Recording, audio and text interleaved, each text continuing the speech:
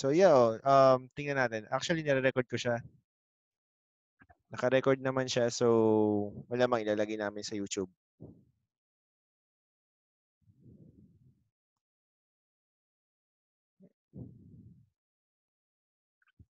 Oh, may question from an anonymous attendee. Do you personally follow 2% rule? Mamaya, masasagot natin yan. Masasagot natin yan. Lahat. Any more um, questions before we proceed?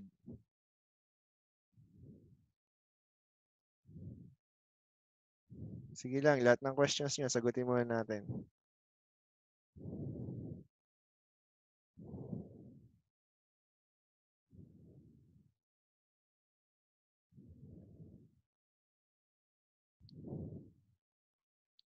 Um, webinar for trading plan, yes, we do have. Sa, yun na yung mga nasa last part of the series. So kung mapapansin nyo yung pinost ni Jonathan sa chat uh, sa group natin. So series siya. So lahat yun nandun. Uh, tingnan natin. Double check natin. Kasi as far as I know, yun nga, um, kasama yung paggawa ng trading plan. Kung ano man yung gusto nyong uh, i-trade, paano nyo siya i-trade, lahat nandun. Tingnan natin. Let's double check. Yes, oh. Kasama na. Actually, nasa last part siya.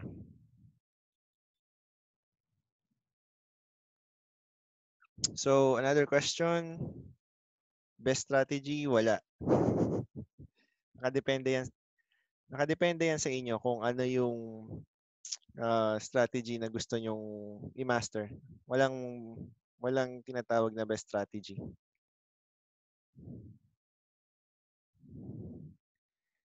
Is it normal to experience losses? Yes, it is normal. Yun yung tinatawag nating drawdown. So, yun yung mga floating loss or unrealized loss. So it's normal. Um, yung after you enter a trade, nagkakaroon ka ng negative due to uh, spreads or commissions depende sa ginagamit yung broker if spread-based ba sila or commission-based ba sila. So yun yung uh, first negative loss na makikita nyo. Then kapag gumagalaw yung price against your trade. So yun na yun. Yun yung floating loss.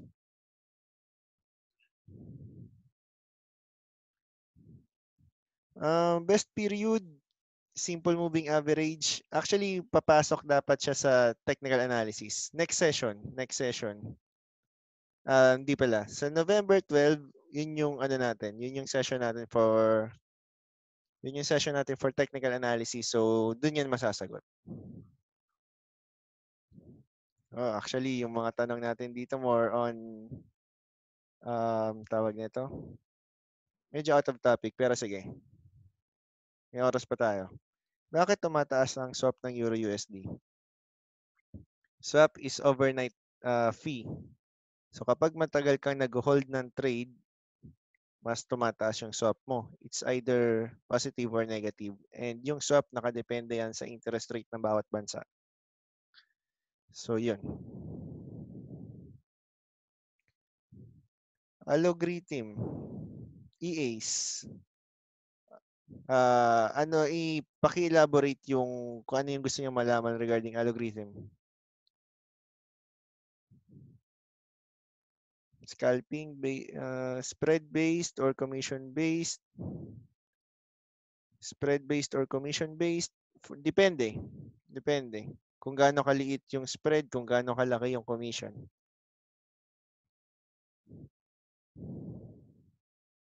Maraming mara, um, much better if you will check kung magkano yung commission per lot or yung spread per lot na makukuha nyo.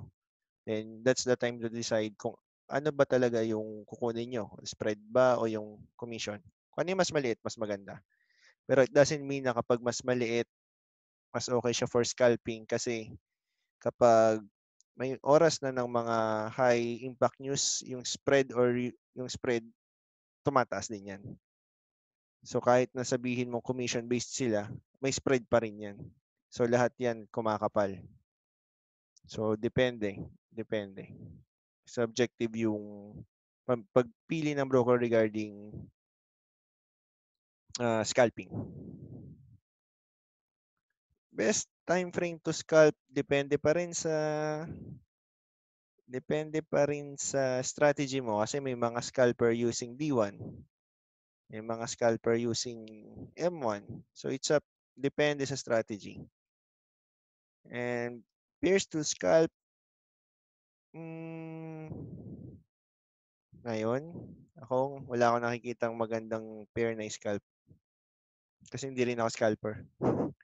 Pero mas maganda yung mga pairs. Kung mag-scalp kayo, mas maganda yung pairs na for ranging.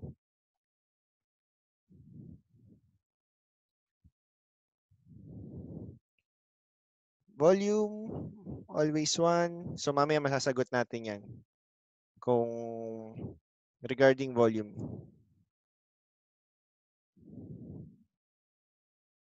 Dynamic levels, nasasagutin natin yan sa technical analysis. So, withdrawals, yes, it's okay to withdraw multiple times. Yun. Uh, trading news and dun yan sa next ano natin, next uh, session natin which is uh, scoring. Then, how to create a trade plan. Doon lahat yan papasok. Mm, technical, fundamental. Ako, let's combine. Combine. Use it both. Okay? So, actually, yung mga questions medyo advanced na out of the topic siya. Pero anyways, good um, topic yun. Ay, good questions yun. So, okay, let's start the webinar. So we have already 50 attendees. And baka mamaya dumami. And regarding this uh, webinar, so naka-record siya. Uh, let's uh, try if we can upload it on YouTube or sa Vimeo. Tingnan natin. Si Jonathan mag-upload nito. Kasi nasa account niya yun. Okay, our, our discussion for tonight is more on risk management and trading psychology. So sa session natin for tonight, ang expectation is matutunan nyo kung ano yung value ng risk management or the importance of it, pati yung trading psychology. Ano ba yung proper mindset And yun, kanina may tanong regarding volume. So, um, i-discuss natin yung proper place, placing of lot, of lot sizes. So, um, another expectation is that uh, after this um, webinar, so we can all already manage both winning and losing trades kasi papasok yan sa trading psychology. Then, okay, so let's review first uh, what is a volume or yung tinatawag nating lot size. So yung volume or lot size, yun yung contract na binibigay natin sa broker. So computation is for every 1.00 or yung tinatawag nating standard lot size, ang equivalent niya is 100,000 units or yung contract 100,000 the 0.10 is 10k 0.01 is 1k so ang monetary equivalent ng 1.00 is 10 pip uh, 10 USD per pip depending on the pair. So may calculator tayo niyan sa um, PAFTI website natin. So you can visit it para mas ma mas madali yung ma-gauge kung magkano yung i-risk nyo. Kasi not all uh, pairs have the same monetary value per lot. Itong $10 per lot is mostly for major pairs except for USDJPY. Okay? Next. So, example natin uh, for of volume and lot size. So, katulad ng sinabi ko kanina, so sa 1.00 for major pairs, it's $10 per pip. 1. Point, or 0.10 is $1. 0.01 is 10 cents per pip. Then yung katulad ng example natin sa pinakahuli, 0.32 is 3.2 per pip. So, multiply. Add, multiply. Okay? So, sa micro account, syempre, iba yung calculations niyan. So, yung one standard lot size sa micro, actually, hindi na siya standard kasi dinidivide din siya into smaller contracts sa micro account. So, yung uh, 1.00 mo sa micro is equal to 10 cents per pip, which is yun yung 0.01 sa standard account. So, yung 0.01 is 1 cent. Okay? Um, review lang yan, counting review. Baka naman mamaya, hindi nyo alam kung ano yung PIP. Ano nga ba yung PIP? Sige, ako magtatanong. Ano yung PIP? Kung naka-attend kayo last webinar sa last Saturday, nandun yan. Ano yung PIP? You can use the chat, webinar chat.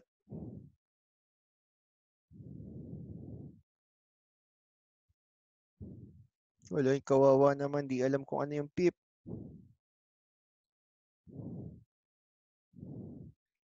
Price in percentage. Okay. The fourth decimal place sa price. Okay, paano paano si ano? Paano si USDJPY? J, uh, Japanese yen pairs. Saan siya? Saan tayo umpisang magbibilang?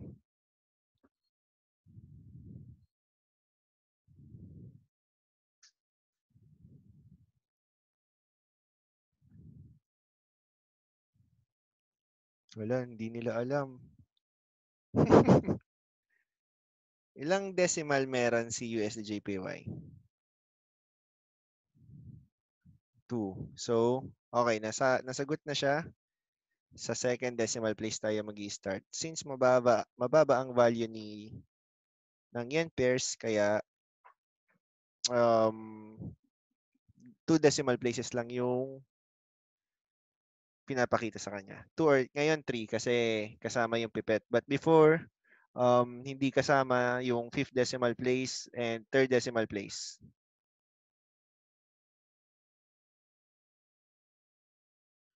Okay? So, clear, clear. Okay, uh, let's check the question, Q&A and option. Q&A option, ano ginagawa nyo placing after a trade? Anong ginagawa nyo after placing a trade? Nagdadasal? Nagdadasal na sana wag ma-hit yung stop loss at tama yung trade? Eh, joke lang. Eh, always follow your trading plan. Kung ano yung kung ano yung tawag nito, um, initial plan mo, just follow it. Huwag kayong pabago-bago. Kung nag-set ka ng SL sa gantong price, kapag na-hit, then let it go. Kapag na-hit yung TP nyo, so be, edi happy lahat. Yun. Kapag nag, magpaplano ka muna bago mag-trade. Then kapag nagplano ka, wag mo babaguhin. Yun lang, yun lang yun.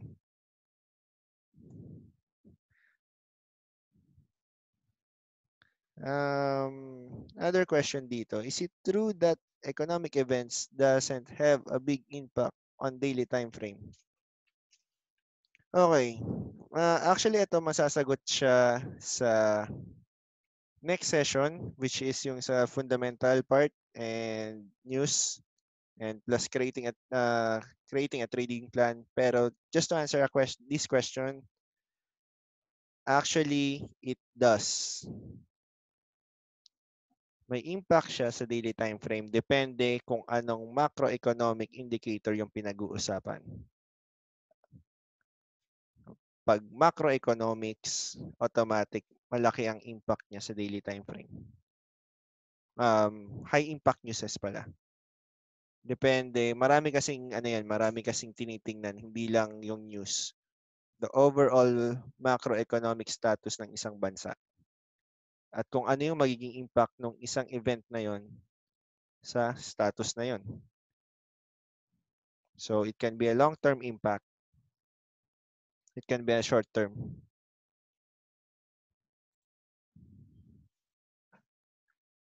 The news trading, next session yon. Okay, uh, question regard ito pasok to sa discussion natin for tonight. So possible possible po ba na mag-wait for weeks para ma-hit yung take profit? Yes. Yes, yes. Possible 'yun. Lalo na kung mag-swing or position trading ka. Possible 'yun. Two weeks, three weeks, one month. Depende.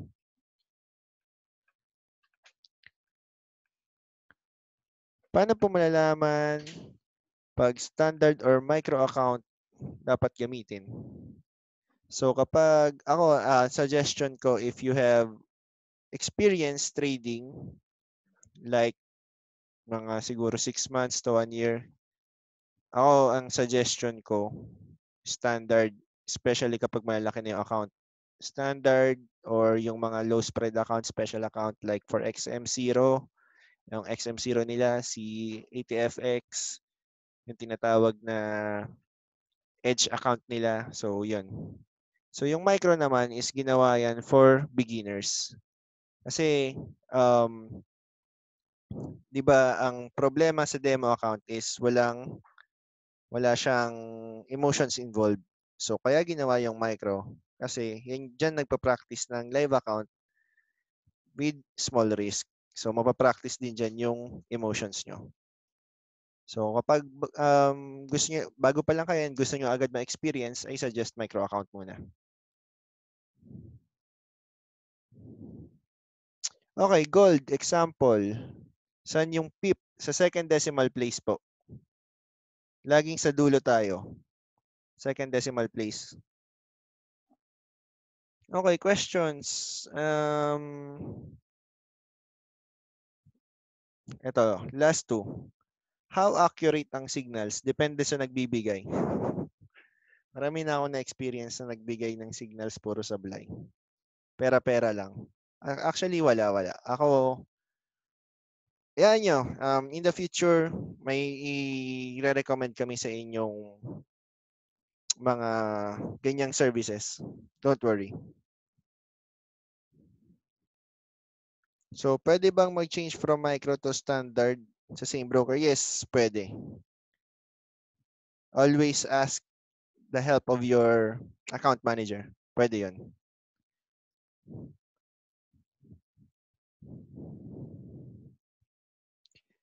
Okay, so mamaya naman yung iba. So let's continue. Okay, So, ito, sample. Computation ng proper lot sizing. May, meron tayong steps, meron tayong formula. Steps are on the left side and formula is at the right side. Okay, so yung first uh, first step na kailangan nating gawin is we need to identify the percentage of risk then get the actual amount based on our capital. So yung formula, itong nasa right side is yung capital natin, i-multiply natin sa risk na gusto natin, which is in percentage, then yun yung amount na i-risk natin. For example, we have uh, $100 USD. Then gusto mo lang mag-risk ng uh, 5%. So ilan 'yon? Ilang ilan yung monetary value ng 5%? If you have a uh, 100 USD.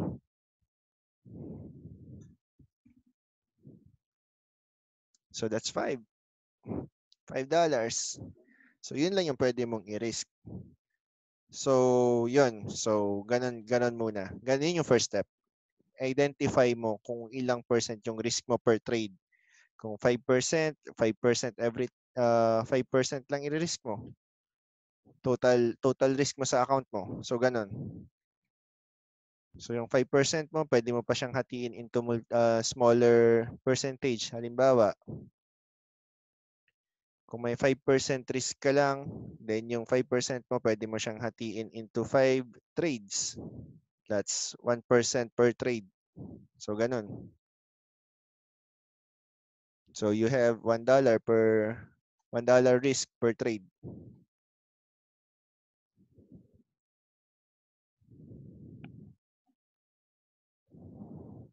Okay, next.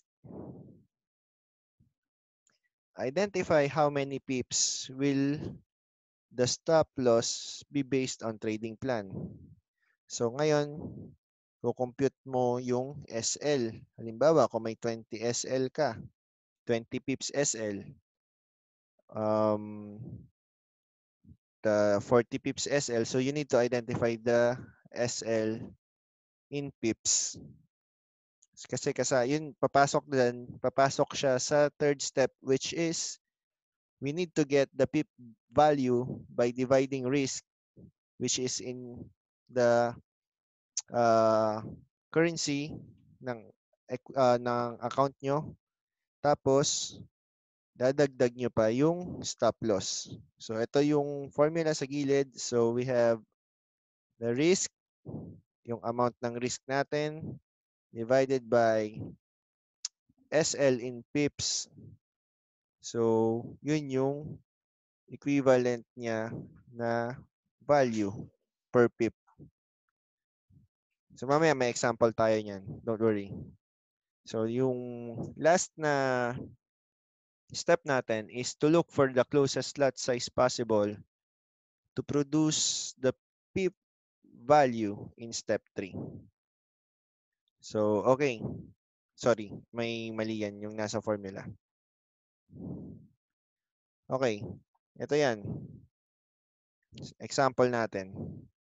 So, given natin, meron tayong 1,000 USD capital. Ang gusto lang nating i-risk ay 2% nun.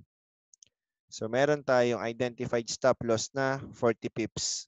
So, yung first step, we need to identify kung magkano yung i-risk natin based on the risk percentage. So, based on the given numbers, meron tayong $20 na kailangan uh, na pwedeng i-risk sa trade natin. So, how did we get that? So, una, we, meron tayong capital. multiply natin sa number of risk which is 2% or 0.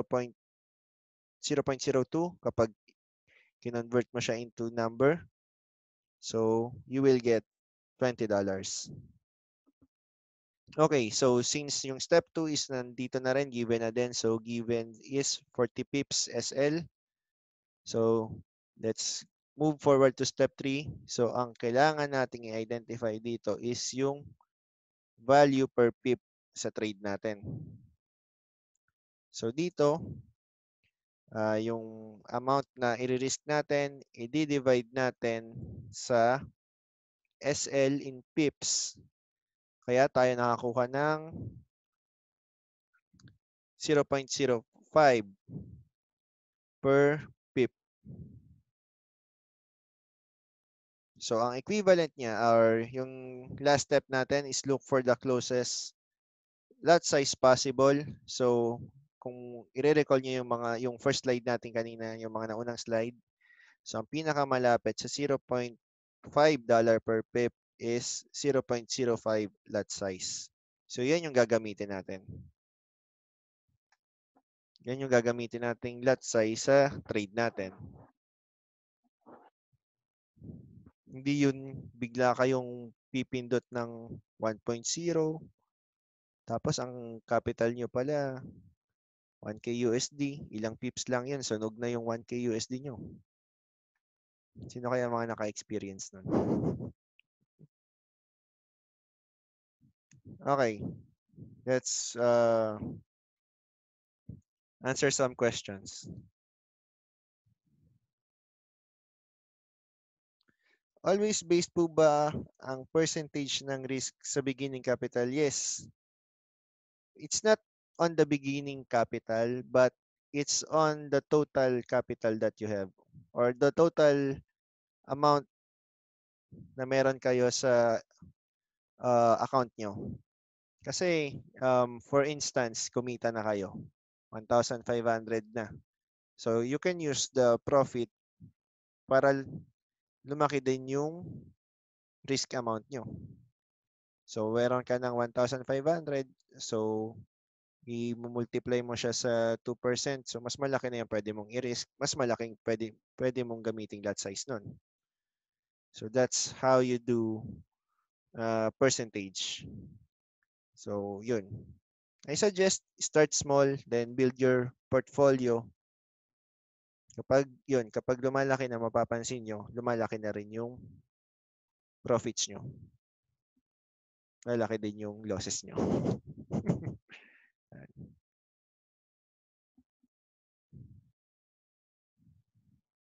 okay. Paano sa micro? Ayun lang. Paano sa micro? Let's go back.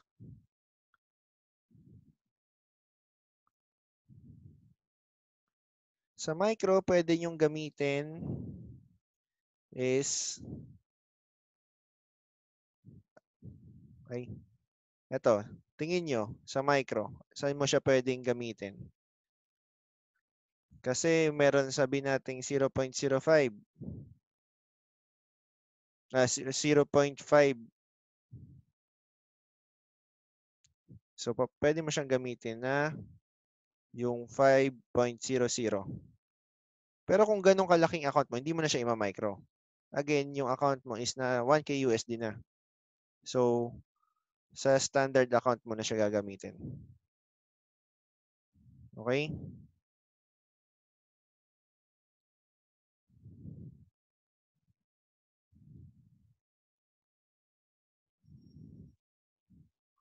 Paano na, paano nakuha yung sorry? Ay, yung 40? Actually, depende yan. Trade plan. Papasok yan next session kung paano tayo magka-calculate ng SL. Yung 40 dito is given na kasi um, for instance, support resistance, gusto mo mag-buy. So magbabay ka within support. Then yung SL mo, let's say yung uh, range ng SL mo is 40 pips below support. So yun, pwedeng ganun kaya nakuha yung 40. So depende yan sa trade plan. Ito sample lang tong stop loss na 40. So yan yun, next time i-discuss natin kung paano tayo mag-set ng proper stop loss based on trade plan natin. Pero ngayon i-discuss ko rin later on.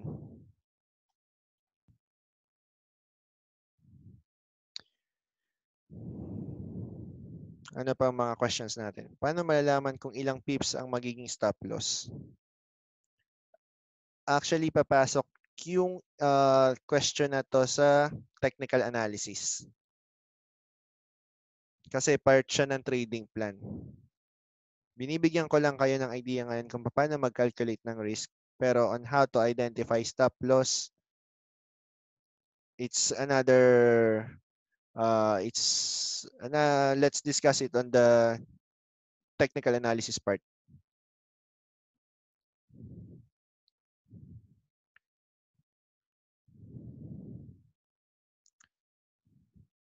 Okay, last question. For the may um ano to? Nawala. Paano malalaman kung anong account type ang gagamitin? Again, kung magpa-practice kayo like 100 USD, 200 USD, put it on a micro account kasi mas mababang lot size yung pwede yung gamitin doon. For um, malalaking accounts na like on our example, uh, 1,000, nasa 4 digits na, standard, you can use standard account na.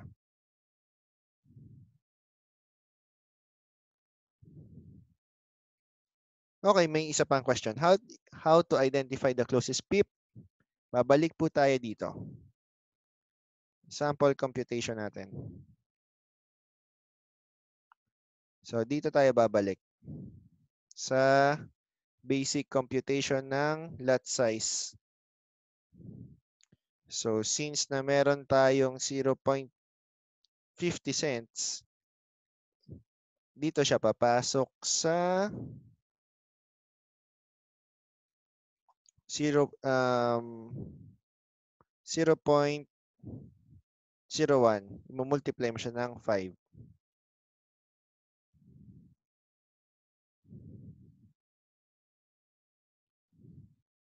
Okay. I think yung iba mamaya naman kasi masasagot yan sa mga susunod na slides natin.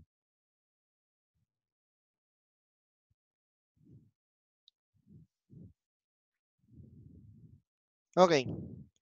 So, in risk management or in doing risk management, wag nating piliting mag-trade. Okay? Kapag talagang sablay yung market or hindi siya pasok sa trade plan nyo, huwag kayo mag-trade. Bawal yung makating kamay dito. Diba, gusto niyo lang mag-trade, wala kayong magawa. Huwag na kayo mag-trade.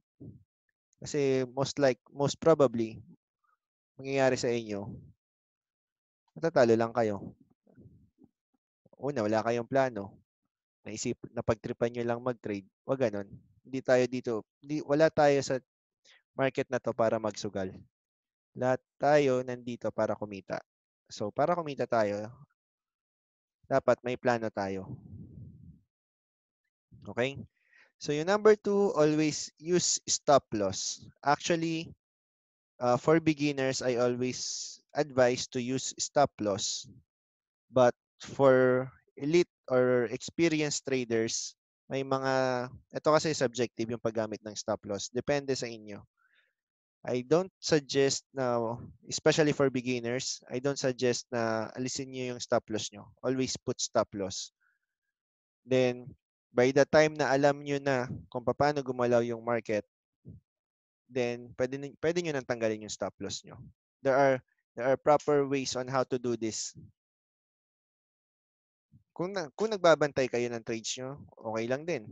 As long as alam nyo yung ginagawa nyo. Pero wag niyo kakalimutan yung risk nyo. Kung may 2% risk lang kayo, kapag umabot na sa ganong amount yung floating loss nyo, cut the trade. Always cut the trade. Mali na eh. And on the last bullet or yung number 3 natin, use proper lot sizing. Ngayon, kung hindi nyo magets yung uh, previous slide, I suggest Etong last uh, sa last part natin is for every 100 USD use 0.01. Yan na hindi hindi maraming 0.01 na isang 0.01. So ibig sabihin nun kung meron kang 100 USD, meron ka lang isang 0.01 na trade. Kung sa 1,000 USD mo, meron kang 10 0.01 na trade. Or 1 point or 0.10. So, ganun.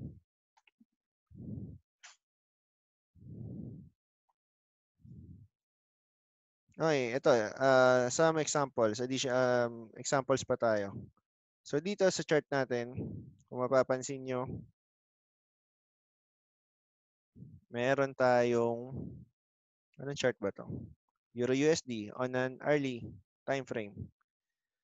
So, let's say we have an account balance of 1,500.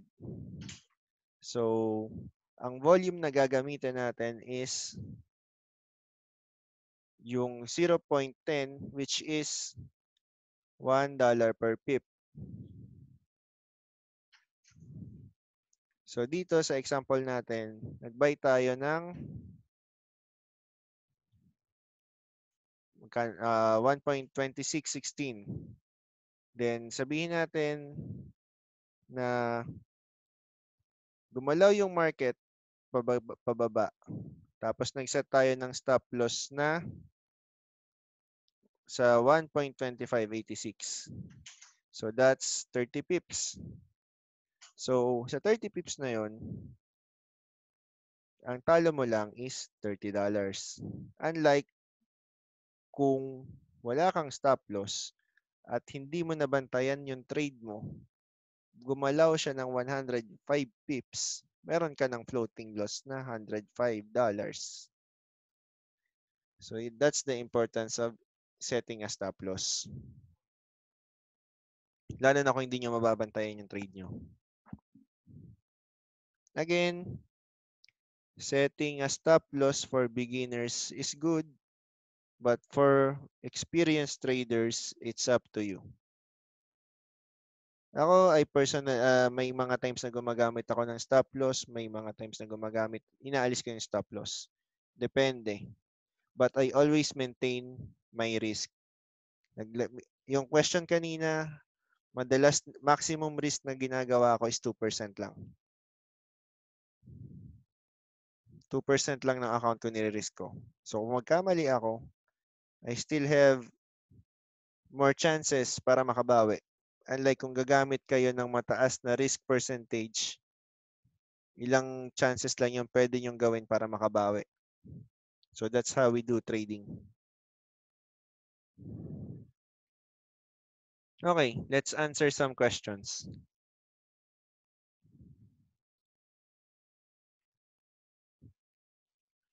Mm, forex signals. Actually, maraming forex signals. Wala pa ako nakikitang profitable. Kung gusto niyo libreng forex signals, ako ah, kung gusto niyo libreng forex signals, sa ATFX, nakipag-partner sila sa ano nga ba yung partner nila? I forgot. Basta, yun, nagbibigay ng free trading signals yon. Kung gusto niyo ng trade signals, doon kayo pumunta, ATFX. Nakita niyo yung review namin sa PAFTI website at alam naman namin na maraming tao na dependent sa trade signals. Then, punta kayo. Punta kayo sa um, Facebook, uh, no, the PAFTI website, hanapin yung ATFX doon, register, makikita. Ano nga ba? Nakalimutan ko. Trading, let me check. Trading Central, ayun. So nakipag-partner sila si Trading Central. Si Trading Central is a signal provider. So makikita nyo doon, may uh, signal sila, trade signal sila, at kung bakit nila kinukuha yung trade signals na yun. At least may explanation kung bakit. Hindi yung tipong uh, magbibigay lang ng entry exit walang uh, walang explanation ko bakit nila kinuha yung trade. 'Di ba? Ni technical analysis wala. Maraming ganun actually. So, how do you identify a losing trade? Lalo na kung hindi ka nag-set ng SL. Katulad nito, downtrend, pero nag-buy ka. Another example sa screen.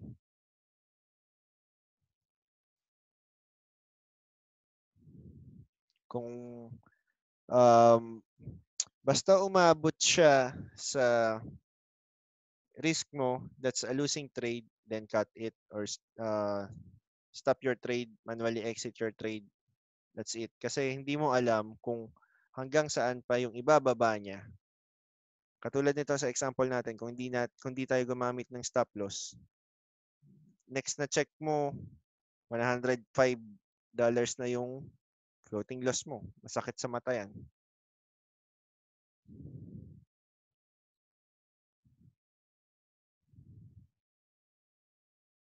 So, nagma-manual stop ka po ba kahit di pa nahihit ng SL? No, no, no, no.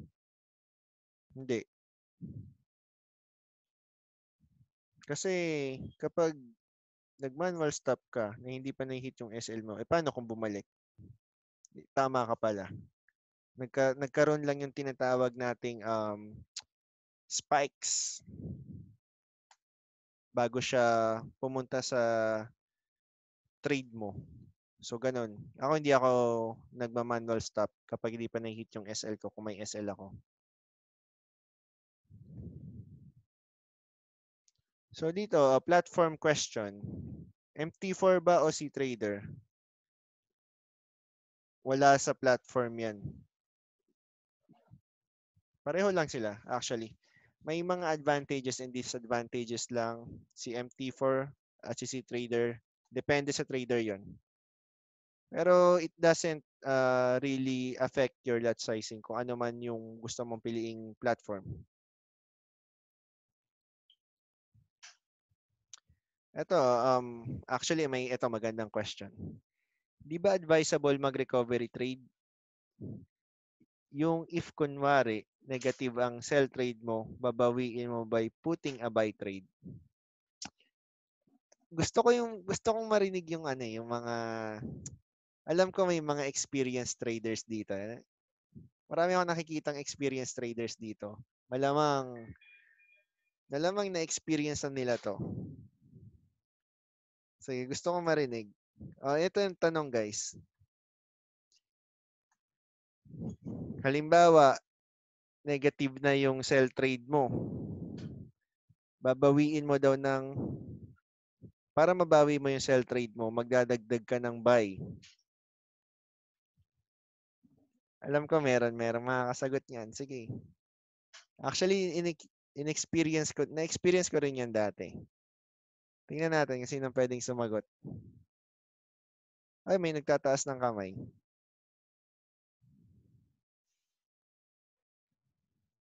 Sino?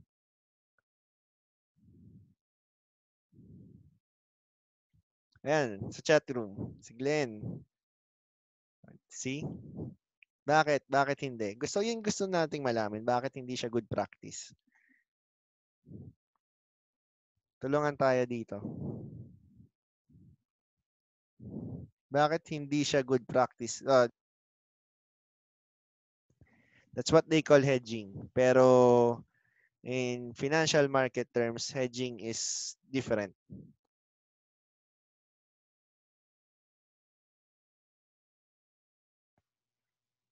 Ayan, from Batang Crocs, if market will go against you, so madadoble yung loss mo, which is true.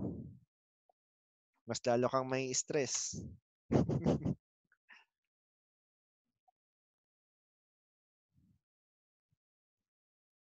Yan, yan, yan. Dahil nakikita dito yung mga experienced traders.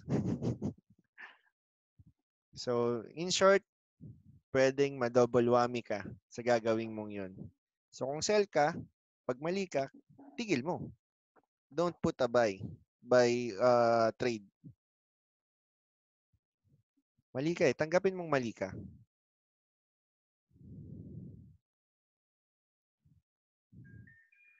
Yan, yan. Pag na-hit yung stop loss, cut no mercy. uh, yan, nakikita dito yung mga experienced traders. Tama, next move on, next currency na lang.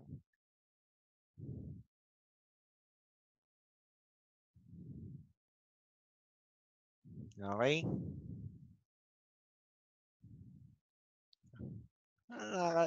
Nakaka, Nakakatawa eh. Biglang lumabas yung mga experienced traders dito. Eto si Sir Ed. Pag pag nag-trade ka kasi kutob mo lang, wag. Always go with your plan. Yan. Lumalabas, lumalabas na yung mga naka-experience na. Actually ako eh, ginawa ko siya dati. Promise. Nakakabaliw.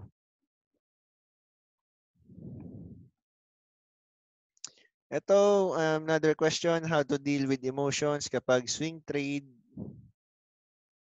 tapos matagal di gumagalaw yung price. Eh, di-discuss natin yan mamaya sa trading psychology. Mahaba pa gabi. Okay, um, from Reina, Reina, Sir, sa stop loss na 2%, base sa entry price mo o add pa yung charges? Uh, depende. Pero ako, ina-add ko yung charges. Always add the charges. Always, I always include the uh, commission or the spreads dun sa um, percentage risk ko. Ito, um, a question from newbie, a newbie, tingin ko. Meron po ba kayong suggest, suggestion for newbies kung ilang trade lang po dapat i-open? Uh, okay. So, papasok dyan yung account balance. Kung magkano yung equity.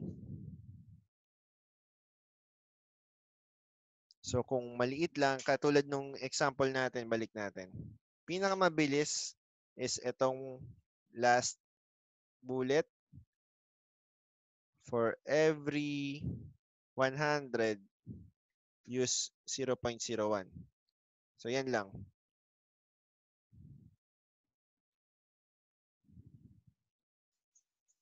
So kung meron kang again kung meron kang 1000 USD, meron kang 10 0.01.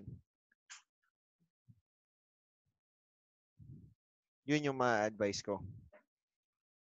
Pepe um another thing practice lang kayo muna sa isang currency pair.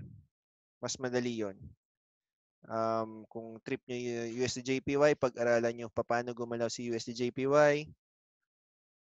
Um, kung Euro trip nyo, pag, yun yung pag-aralan nyo. So, yun. Uh, practice muna kayo sa isang pair lang. Kasi pag marami ng pair, tapos newbie pa lang kayo, nakakataranta.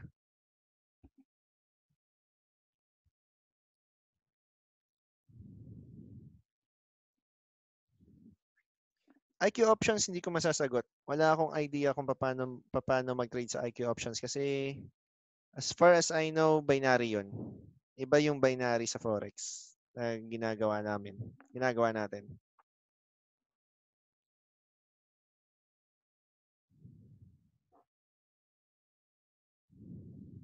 I don't suggest gold for beginners. Masyadong magalaw si gold. I don't suggest.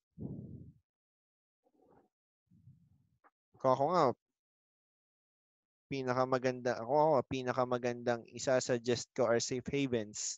Um, di gold, but USDJPY and USDCHF. Wag gold. Masyadong magalaw ang gold. Continuous lang pipitik.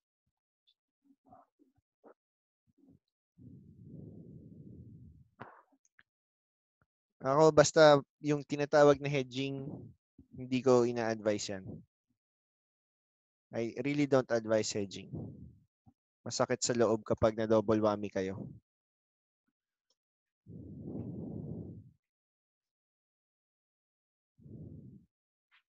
Okay, ito, last question for the meantime. Okay.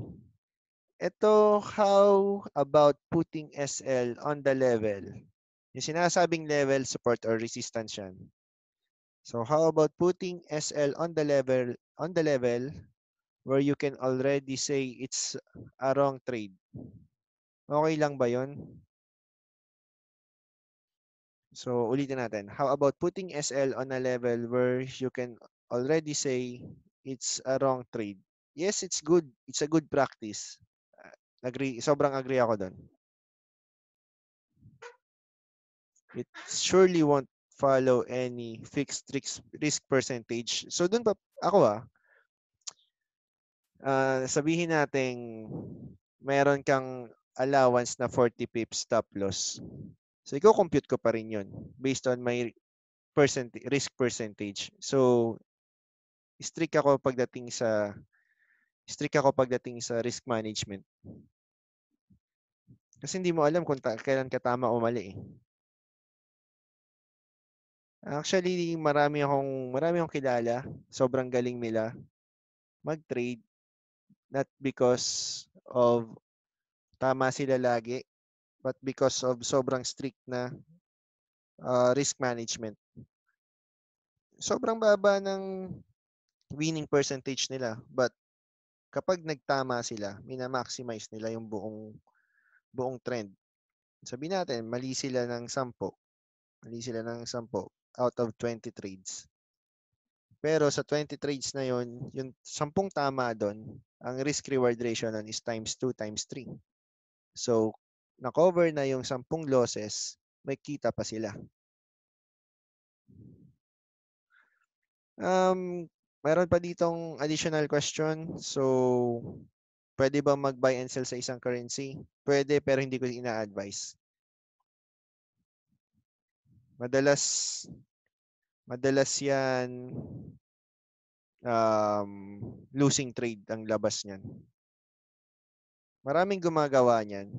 Marami na akong nakilalang gumawa niyan. Hindi nagtagal yung accounts nila. Sobrang hindi nagtagal. Okay?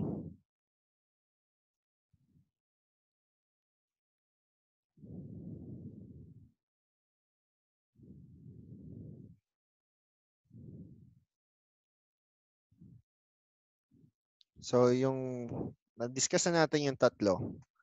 So, yung number four, na reminder is double check your trades before entering. So, bakit? Kasi uh, lalo na um, this is a common mistake especially for those people that has that have uh, multiple accounts. Halimbawa, mag-switch ka from one account to another. Eh, mas maliit yung hindi pare-pareho yung tawag nito, equity ng bawat account. So doon sa isang account mo, nagte-trade ka ng one, one, one standard lot size, pero doon sa maliliit na account mo, syempre hindi pwede yun. So may mga times kasi na kapag lumi, um, lumilipat ka ng trading account, yung lot size mo same pa rin. So ang tendency, sobrang laki na ng risk mo dahil dun sa maling lot size na na-enter mo. So always double check your trades. Yun. Buy ka pero napindot mo sell. Meron ganyan. Especially pag yung mga lasing. ah, seryoso. Uh, may mga times. Mga fat fingers na tinatawag. Buy ka pero napindot mo sell. Ay, oo, tama yan. Sorry na. Wag magki-trade ng lasing. Wag tayong ganun. Maglasing, out na. Out na sa market. Okay, ito yung sinasabi ko kanina. Um, yung risk-reward ratio. So, always maximize your wins, winning trade, and minimize your losing trades. Uh, ito, example.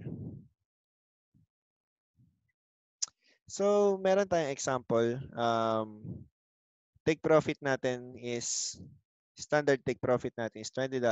Then, standard stop loss natin is $10.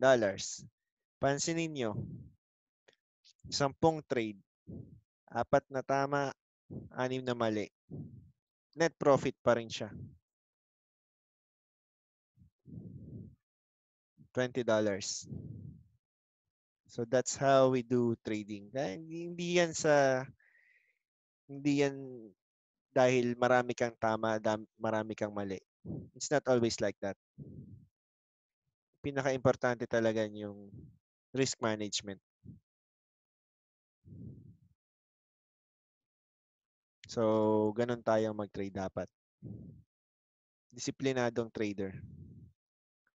So, tingnan nyo, bakit, bakit siya naging win pa rin. Total profit niya is $80. Total loss niya, $60. Kahit marami siyang mali, pero mas maliit yung mali niya, yung mas maliit yung talo niya, losing trades compared sa winning trades. So, ganun dapat mag-trade. Huwag nating hayaan na mas malaki yung losing trades natin over our winning trades.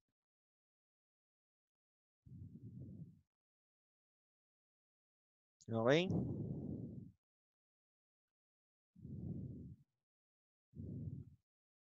Okay, let's answer more questions. Wala, may leverage. Ano yung leverage? Ah, patay tayo dyan. Sige, try natin sino makakasagot ng leverage. Kailangan ng tulong ng kapatid natin. Ano yung leverage?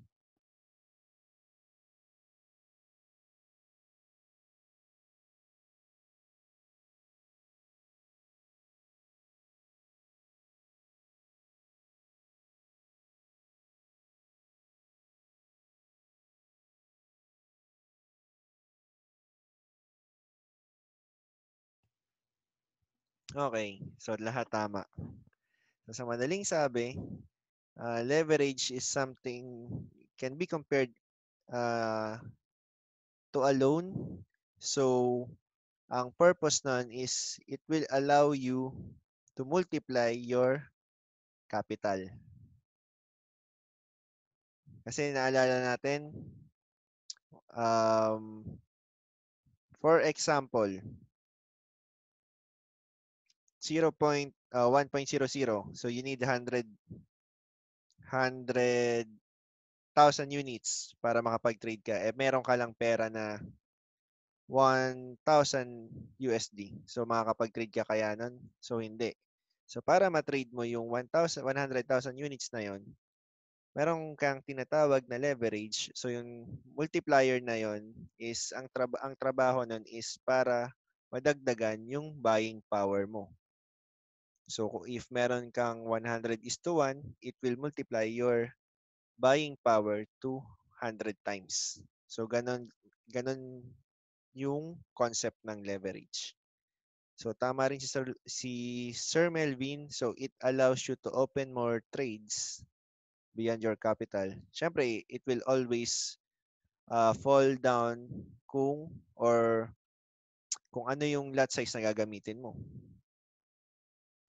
So, doon. Yun yung leverage. Okay. Another question.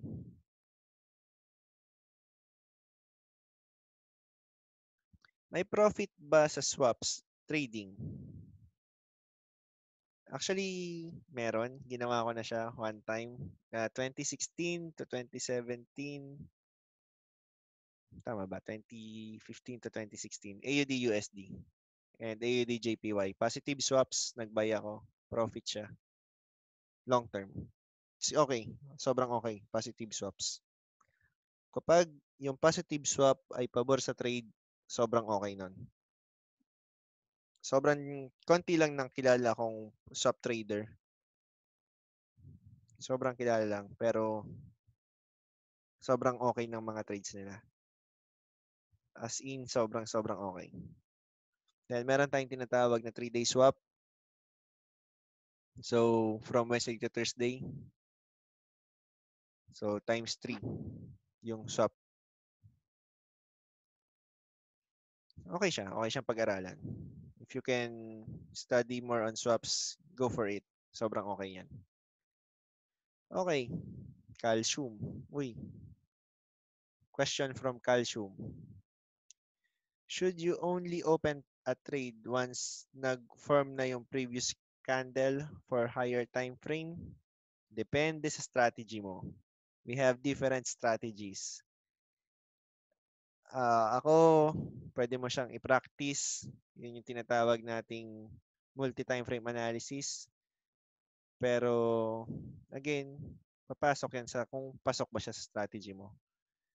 Uh, kung, indicator-based ka, so, alam naman natin na bawat indicator is may iba't ibang parameters for entry and exiting a trade. Entering and exiting a trade. So, if candlestick trader ka, then you should follow your parameters or your strategy sa candlestick trading.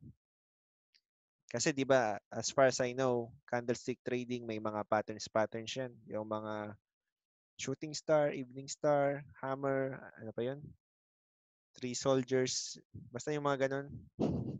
Palibasa hindi ko na pinag-aralan 'yun eh. Ayun. So kung candlestick, kung candlestick trader ka, 'yun. I suggest stick to your stick to your parameters. Mas okay ba walang TP pero manual trailing? Depende. Depende. Eh, ako ah, kung ako hindi ako gumagamit actually ng trailing stop. Pero kung kasi ang trabaho ng trailing stop parang ina-adjust niya lang yung stop loss mo pero sa positive side na. Eh, alam naman natin sa market, may mga swings, price swings. So kapag natamaan ng price swing yung trading stop mo, tapos na yung trade mo kahit tama ka. Kaya ako hindi ko masyadong ginagamit yung trailing stop. Pero you can use it. Wala namang nagbabawal.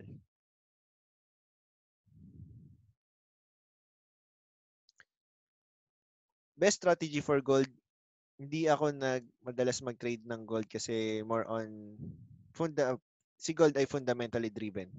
Konting news lang gagalaw 'yan. Um, actually, hindi ko siya tine-trade kasi ayoko magbantay ng magbantay. Pero maganda siyang i-trade. And si gold, uh, napapansin ko kay gold, especially right now, uh, ano siya, uh, he, the, pair always respect price levels. Yun lang.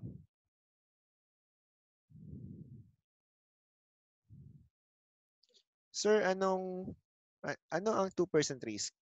Total deposit amount o total ng amount sa binibili? 2% risk based on your total equity or yung kung ano yung amount na meron ka sa uh, account mo. So, halimbawa, nag-deposit ka ng 1K tapos kumita na ng 1K, so 2K na. So, lalaki, so yung 2% mo, kukunin mo na sa 2K mo. Hindi dun sa dineposito mo.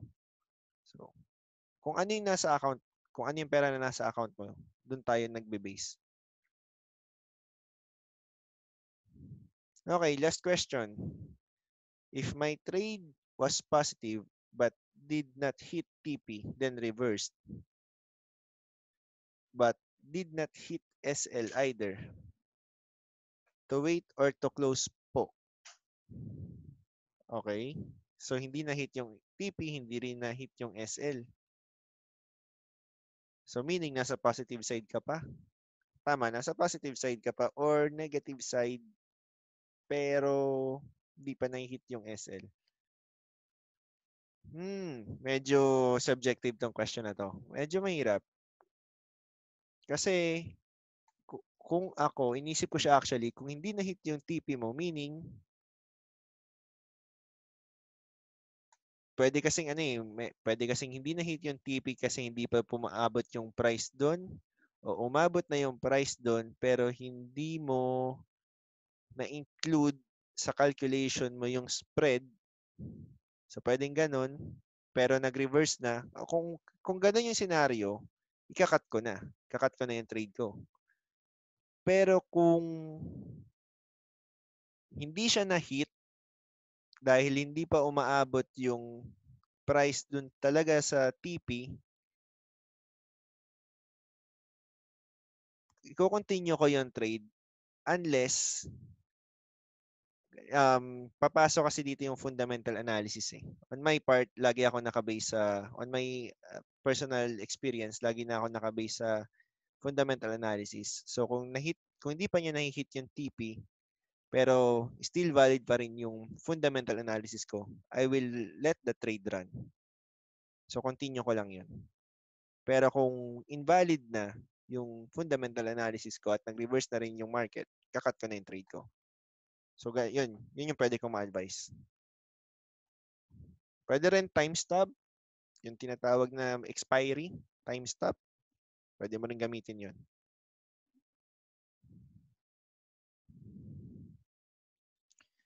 Okay, ito, last na talaga to. What if po bumaba yung account mo or pag nag-place ng trade at the same time, saan po i-base yung 2%? Guys, i-base natin yung 2% ulit sa total account equity mo. So kung meron kang kung meron kang 100 or sorry, 1,000 USD, so ang 2% nun is 20. Kapag umabot na ng 20 $20 dollars yung floating loss mo, cut mo na yung trade mo. Ganun lang kasimple yun. Mali ka eh. Tanggapin natin na mali ka. Huwag niyong isipin na babalik at babalik. Eh, paano kung hindi bumalik? Eh, di mas lalaki pa yung loss nyo. Instead na 20 lang, baka umabot ng 60. 80, 100. So, yun lang yun. Okay?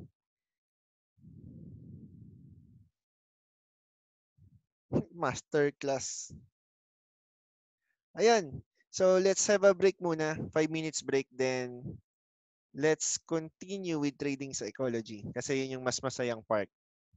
So, kung wala na kayong questions regarding uh, risk management, let's continue with uh, trading psychology. Eh. But before that, let's have a 5 minute break. Okay? Anong oras na? 37. Let's continue. 42. 9.42.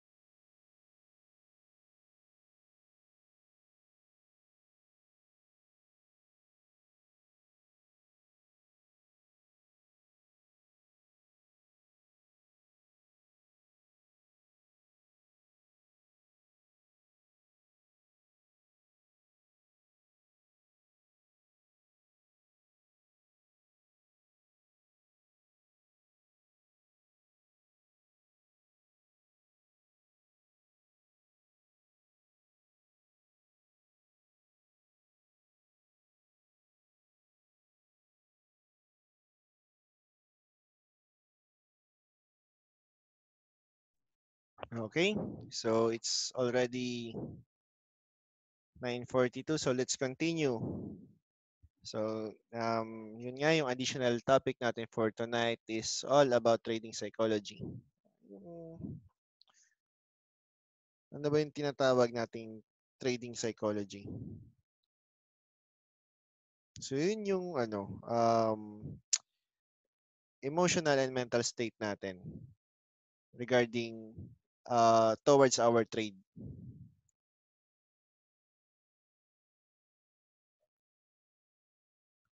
So, again, kung more on, kasi tingnan nyo, kung more on technical and fundamental analysis lang ang trading, edi sana marami ng successful trader ngayon. But the question is, bakit marami pa rin nagfe-fail? It's because of their trading psychology. Walang proper mindset, medyo gigil sa trades, yung mga tipong gusto nila araw-araw mag-trade kahit wala naman dapat i-trade sa araw na yun. Maraming ganun.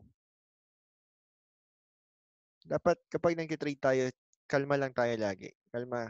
Yung tinatawag na trade like a robot. May ganun. Bakit sinabing trade like a robot? Kasi, yun nga, di ba na-discuss natin kanina, uh, we should always follow our trading plan. So, kaya tinatawag na trade like a robot kasi susundin lang natin kung ano yung nasa trading plan natin. Kapag mali, so be it. Pag tama, then happy tayong lahat. Okay. So, ito yung isa sa mga important aspects na laging namimiss ng mga bagong trader. Akala, yun, yung iba, laging technical analysis muna, Then, nagte-trade agad sila. So, hindi nila na-assess yung sarili nila kung ano bang mali sa kanila, ano bang tama sa kanila. Bakit may mga losing trade sila, bakit may mga winning trade sila. So, ngayon, i-discuss natin kung ano ba yung mga important factors na nakaka-apekto sa trading psychology natin. So, first, yan, uh, why most traders fail? Yun yung sabi ko kanina. Kasi yun nga, wal, walang disiplina. Gusto nila profit agad. Iniisip, hindi nila iniisip na may mga losses din. Lalo na ngayon, yun yung nangyari sa Mindanao. Naisip nila yung trading guaranteed returns every month. Walang ganun. Walang ganun ah, isipin niyo na lang, kung may guaranteed returns, bakit yung mga bakit yung mga malalaking businessman wala sa forex market? Kasi alam nila sa sarili nila na walang guaranteed returns dito. Risk pa rin siya. Ayun. Kaya kung sino man yung nagsasabi sa inyo na may guaranteed returns, kalokohan yan. Tsaka bawal, bawal yon Sobrang bawal yon Pag nag-review kayo, lahat ng investment uh, firms, hindi sila nagbibigay ng guaranteed returns. They always base their performance or yung uh, pinapakita nila is always based on their past performance. So yung ano man mangyari sa future, it's all about managing risk. Kaya importante yung risk management. Yung na-discuss natin kanina. So ngayon, let's, let's uh, discuss naman yung uh, trading psychology. So, why traders fail? Ano kayang naka-relate dito? Most beginner want it easy. Sino kaya? Sino kaya makaka-relate dito? Gusto, lalo na yung mga trader ngayon. Ah, gusto nila bibigay lang sa kanila yung info, trading signals, gahanap ng shortcut, yung tinatawag na holy grail. May, dati may, yung, yung mga first first uh, two years kong nag-aaral, na, nung narinig ko yan, nag, naghahanap din ako. Hanggang ngayon, wala. Ilang taon na akong nagtitrade, wala. Yan, tsaka spoon feeding, kahit na spoon feed ka, kung hindi para sa iyo yung uh, hindi hindi sync yung strategy sa trading lifestyle mo, hindi pa rin mag, hindi pa rin magiging ano 'yon, successful. So halimbawa, tinitrade uh, tinuturuan ka ng scalping. Pero upon checking, hindi pala bagay sa yung scalping. Bagay ka pala sa swing trading or position trading. So hindi ka pa rin magiging successful. Kaya kaya itong series na to dinevelop kasi para ma-discover nyo kung anong trading style yung bagay para sa inyo. Hindi kami yung magtuturo na hindi kami yung magtuturo na oh eto mag-scalp ka, hindi ganoon. Kayo yung magdi-discover ng uh, trading style na para sa inyo. It's all about practice, guys. Ilang taon na ako nagte-trade? Ilang taon na nga ba ako nagte-trade? Nag-aral ako 2011, 2012, 2013, parang ganun. Then nakilala ko sila Coach Stan 2014, 2015. Tagal na.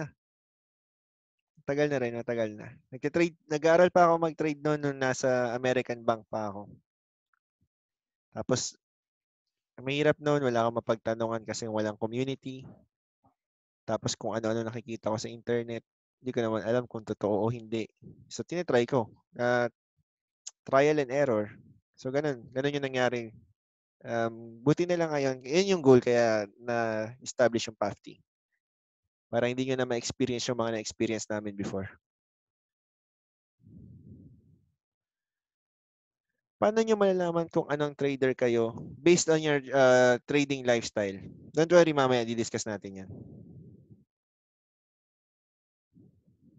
uh, trade for a living? Yes, it's possible. It's really possible. But then again, there's no shortcuts. Kailangan yung mag-aral talaga. Info overload, na-experience ko yan. Promise, mahirap. Kaya ngayon, uh, as much as possible, we want to filter the information that we want to share kasi pag na-info overload kayo, mahirap. Okay? So guys, no shortcuts. Step by step process. Hindi siya madali, pero worth it siya. Promise. Okay. Next next aspect, greed. Ito yung sinasabi ko kanina.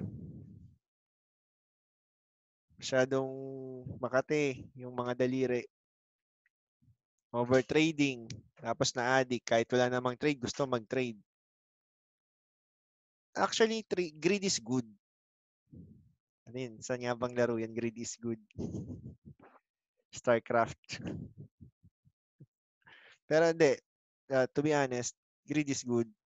But, again, may, may positive and negative sides kasi. Kasi kung wala kayong, wala kayong greed, hindi kayo magiging successful. Pero kung nasasobrahan naman yung greed nyo, wala. Pangit na siya. Yung greed, uh, use your greed para maging masipag kayo. Ganon. Ganon dapat ginagawa yung uh, ginagamit yung greed. Greed for knowledge, uh, hunger for, thirst for knowledge, ganon. Kasi yung greed, siya yung nagiging fuel nyo for you to work. Ayan, oh, may um may shinare si Reina. So sometimes the best trade are the ones you do not take. That's true. Bakit? Bakit? Tingin nyo bakit? Kasi, yun nga, pag hindi nyo mabasa yung market, Instead na matalo kayo, huwag kayong mag-trade. Ganun lang kasimple yun.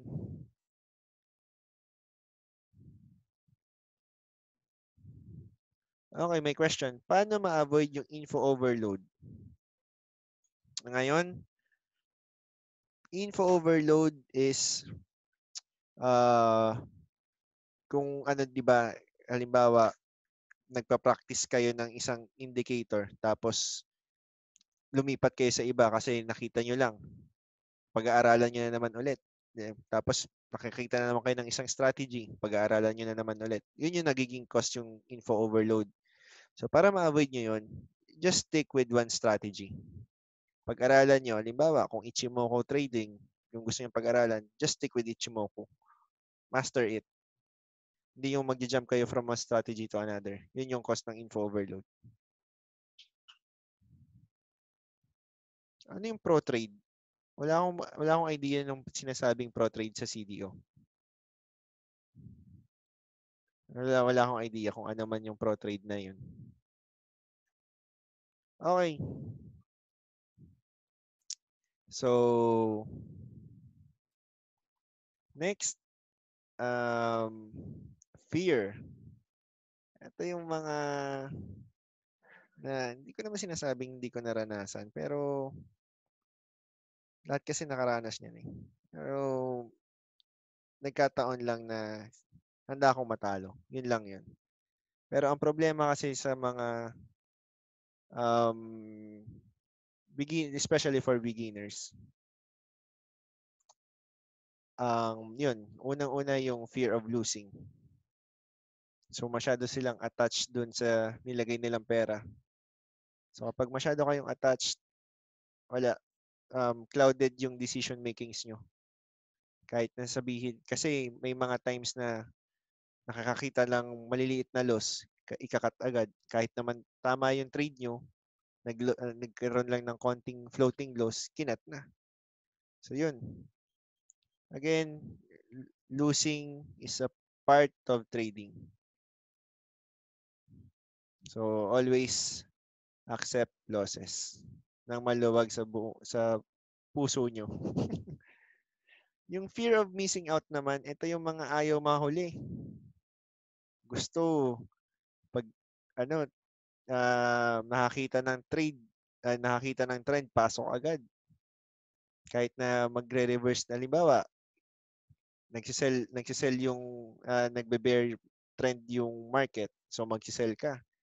Kahit na nasa support na yung price, magsisell ka pa rin kasi sabihin mo sinasabi mo na, uy, malakas pa yung uh, bear market, so magsisell pa ako. So, wag ganun. Madalas to yung, ano, especially ito, pinakamagandang example, Bitcoin. Una, saan ba siya galing? Naabutan ko na siya $100. Nalaman ko siya $100. Tapos 2017 ba yun? 2018. Nag 20K. Basta yung umabot ng 20K. So, nung umabot na yung 20K, maraming bumili. Kasi, yun, na-hype nga. O yun, na-hype. Tapos, na-expect pa nila tataas. So, by that time, yun na yung point na nag-reverse na si Bitcoin. So, maraming natalo. Kasi, yun nga, na-hype, fear of missing out. Actually, yun yung pinakamaganda example ng fear of missing out. Isa pa, fear of not being right. Natatawa ako dito. Fear of not being right.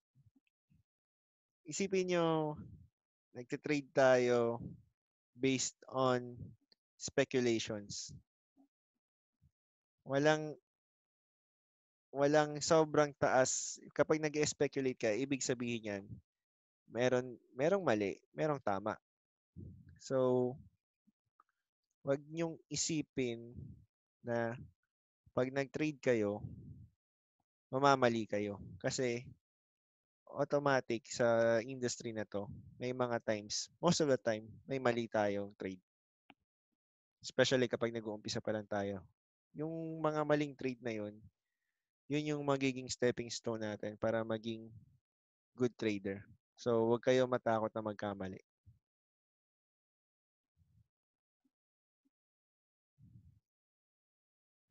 Ayun, isa pa ano, walang pinanganak na uh, tao na magaling agad sa isang bagay. Laging pinag-aaralan 'yan.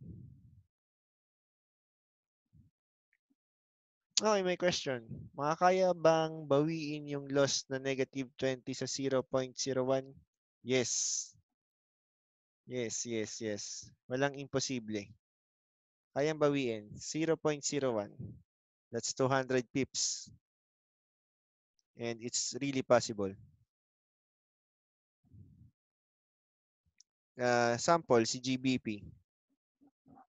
Average uh, daily range niya is around 100 to 150 pips. So kung makakuha mo yon daily range na yon sa loob ng dalawang araw, subawi mo na yung $20 loss mo.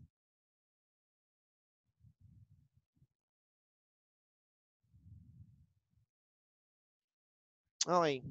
Next, lack of consistency, meaning inconsistent ka. Ito yung tinatawag ko kanina, papatalon-talon ng strategy. Tapos, naghahanap ng holy grail. Kalokohan yun. Stick to one lang tayo, guys. Para walang sakit sa ulo. Oh, guys ha, stick to one ha.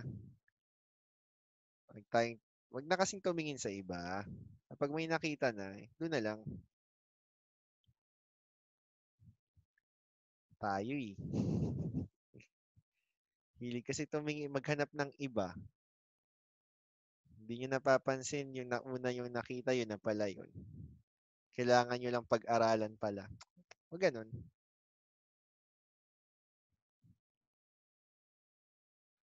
Ito si JP, oh, stick to one. Totoo ba? Stick to one ka? Ayan ha. Guys, stick to one. Pag may nakita kayong gusto nyo ng pag-aralan, yun na lang. Huwag nang tumalon pa ng iba't ibang strategy. Kung gusto mong maging indicator-based trader ka, pag-aralan mo yung indicator na gagamitin mo. Kung gusto mong support and resistance trader ka, yun lang. Ganun lang yun. May one for all, all for one ba na strategy? Actually, yung ganyang strategy, alam ko support and resistance lang. Yun lang yun.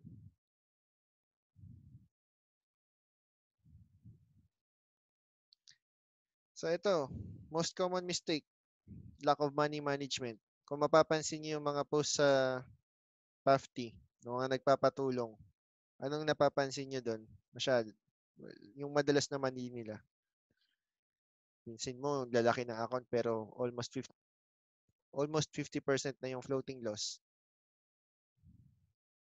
So ano yung mali doon? Yun, tama si Sir Melvin, oversized positions. Lalaki lot size.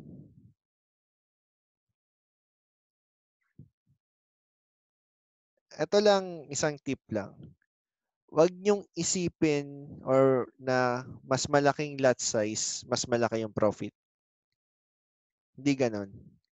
Ang isipin nyo, mas maraming pips, yung, na, uh, kung mas maraming pips yung makukuha nyo, mas malaki yung profit na makukuha nyo. Even na maliit yung lot size na gamit nyo.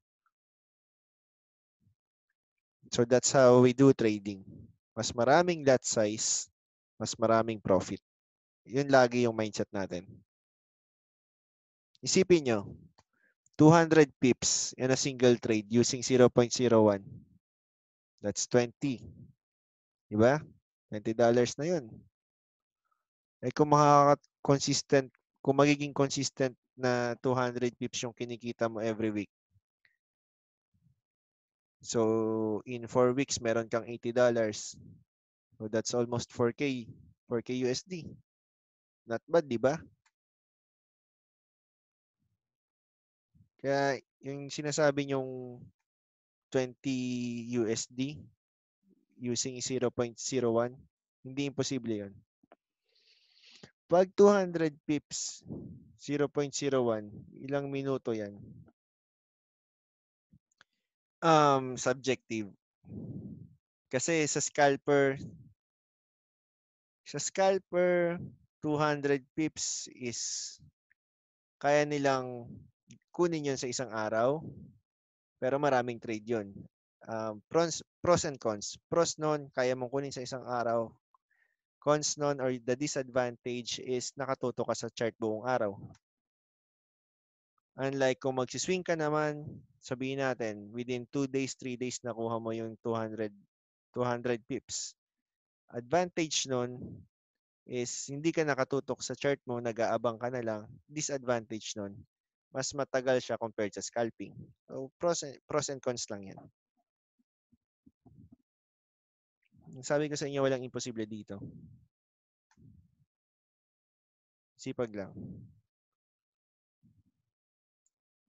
Okay.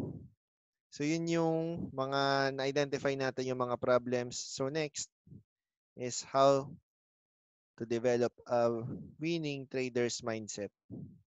Dito yan dito papasok yung how you will manage a losing trade or how will you manage a winning trade.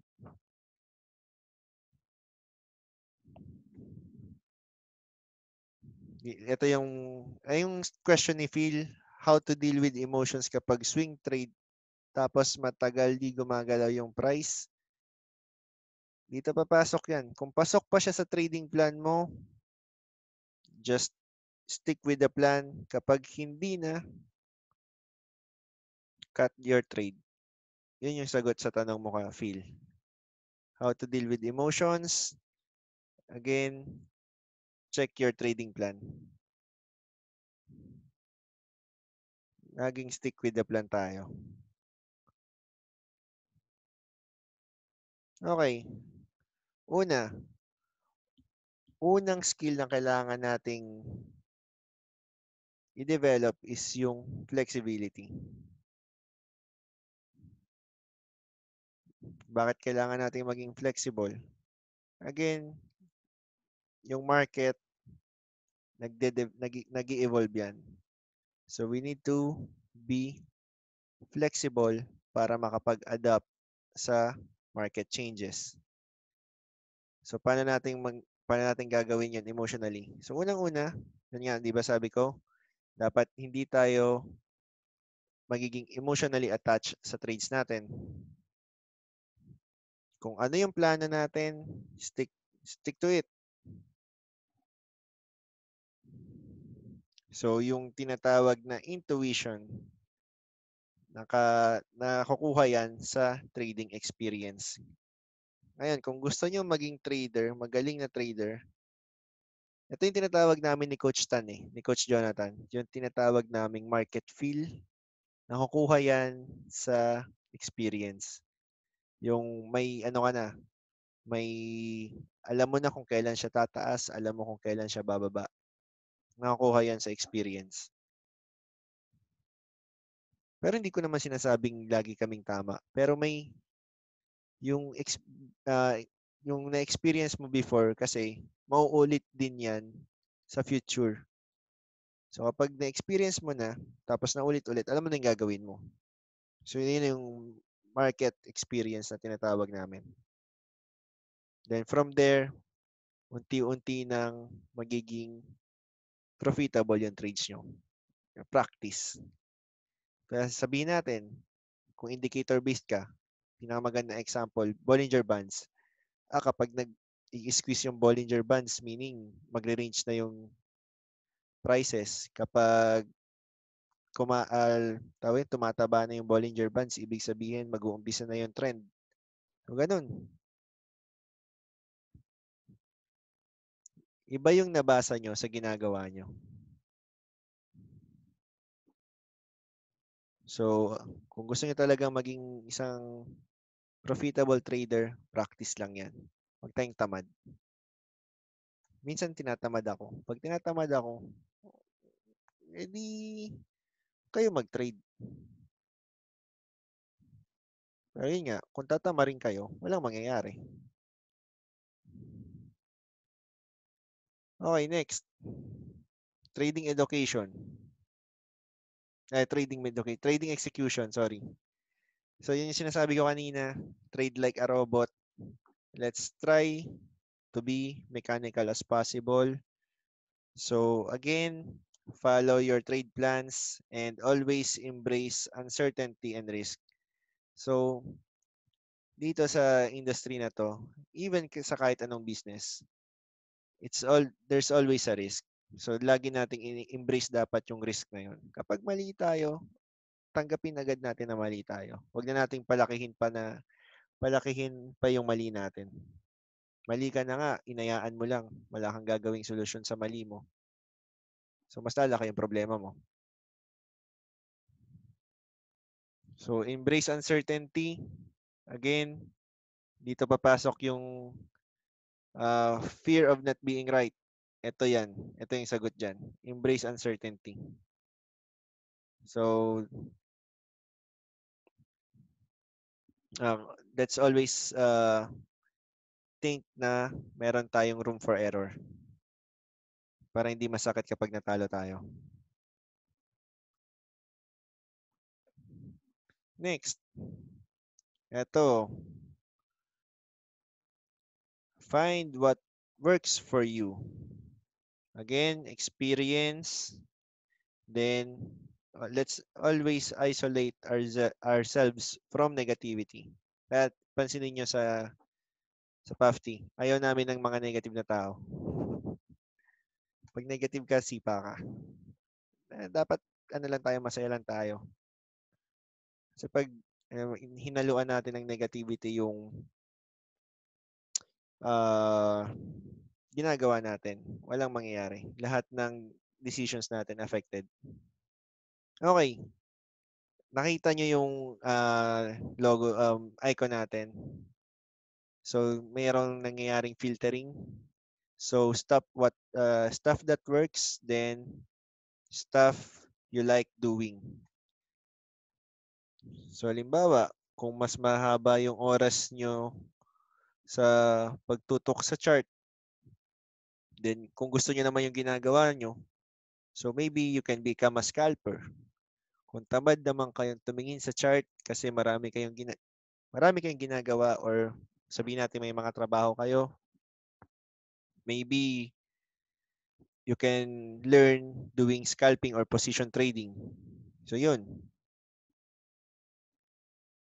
So identify stuff that works and identify the stuff that you like doing. Paano mo nga ba may uh, ma-identify? Sige, papa kayo, paano nyo ma-identify?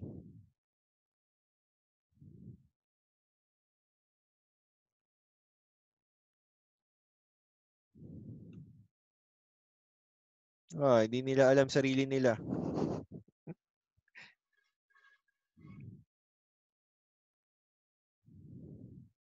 Hindi nyo kilala sarili nyo?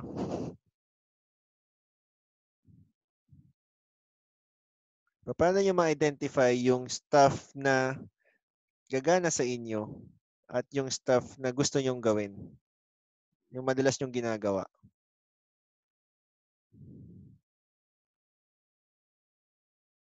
one tip is be honest to yourself. Ako, katulad ng sa halimbawa on my on my experience, mas mara mas mag, gusto kong mag ano, gusto kong mag games, Dota, Mobile Legends, ganun. Game, gamer, gamer. Pero gusto ko rin mag-trade. So I adapt or I learned how to do swing trading. So nag-alat ako ng time for gaming, nag-alat ako ng time for for learning swing trading. Kasi sa swing trading hindi mo siya kailangan bantayan mag-trade ay yung trade mo. So leave it then may oras ka na ulit para gawin yung ibang gusto mo. 'Di ba? So that's ayan, uh, that's one one tip. Alamin niyo yung gusto nyo, then alamin niyo kung paano ba siya paano ba hindi makakasira yung gusto nyong gawin sa trading na gusto nyong aralin? Just be honest.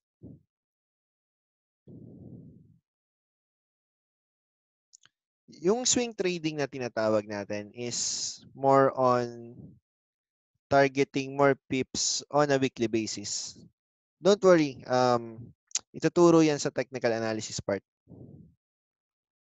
So, swing trading is more on medium-term trades. Mas madali. Sa uh, swing trading, you don't need to have a large capital. You just need to manage your risk properly. Actually, pwede nga sa swing trading, pwede kang uh, mag-start ng 1, 100 USD. Pero 0.01 trade lang pwede mong magawa doon.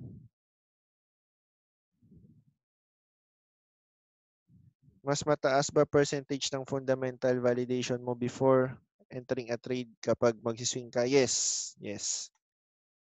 Mas mataas ang fundamental. Always uh, nasa 70 to 80% ang fundamental analysis sa lahat ng trades ko.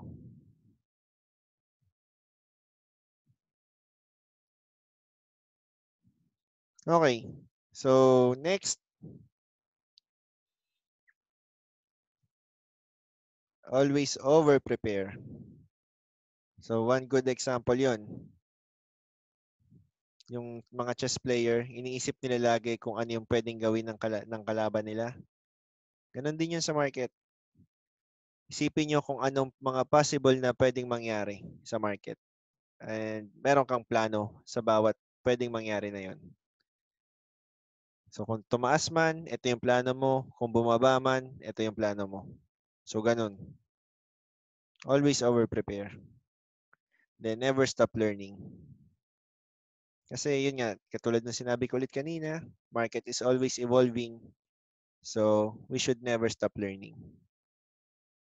Kung yung dati, gumagana yung ganto, ngayon hindi na.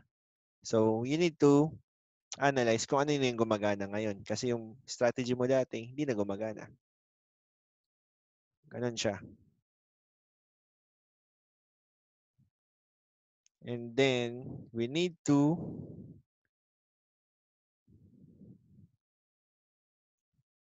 we need to evaluate and establish a routine. Yun yung mga tinatawag nating good habits. Good habits lang yan. So, halimbawa, um, nag-a-analyze ka ng pairs, favorite pairs mo every morning. Kung nasa support ba siya, kung nasa resistance ba siya. So, kung ganon, isusulat mo siya. So, draw your conclusions. Oh, kapag ito umabot sa support, umabot sa resistance, isisell ko siya, ibabay ko siya. So, ganon. Then, from there, you can create a solid foundation. So, yun na yun. Yung mga habits mo, good habits mo. How about reading economic headlines? Yeah, good habit siya na actually. It's a good habit.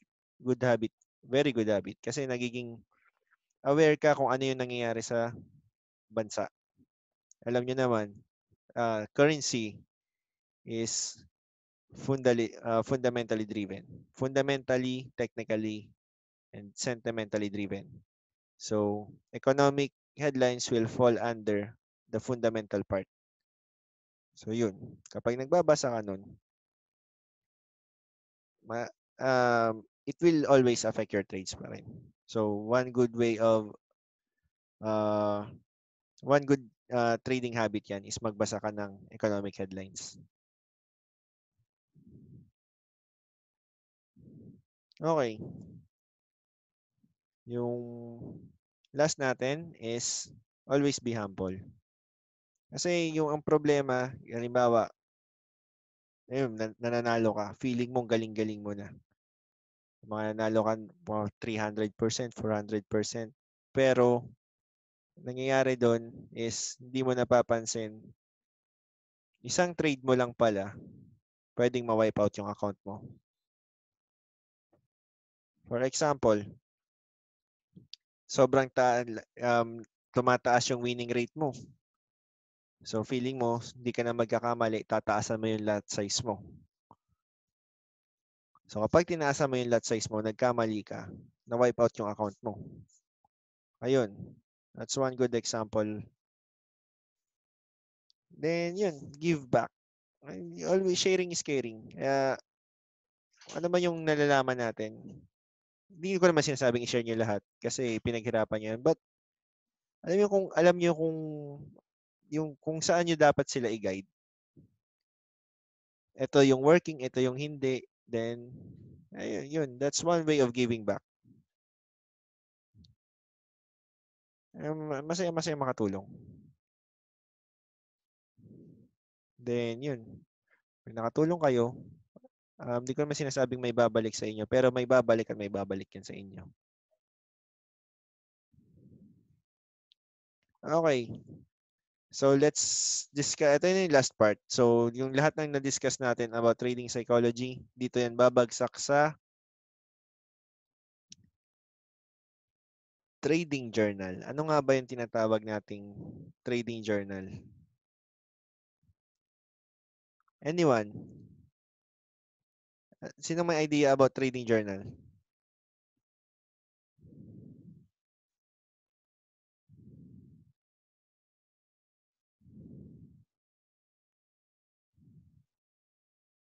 Plan list, history, journal of every trade taken, diaries.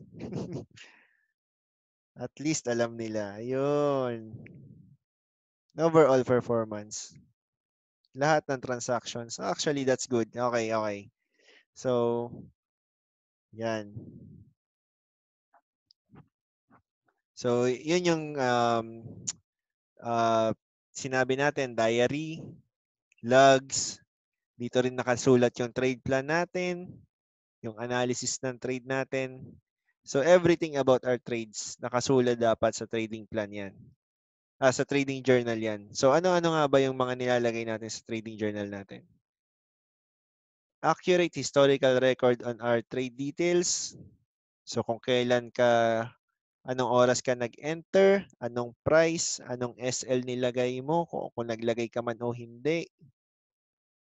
Ano yung mga reasons kung bakit ka nag-trade. So, yan. Kung ang reason mo dahil nasa support, nag-buy ka, kung ang reason mo is because sinabi ng indicator mo na buy na, yun. Yun ang nilalagay natin sa trading journal natin. Ano pa yung nilalagay natin? So, yung mga rules. Yung mga rules ng trade plan natin para hindi natin nakakalimutan.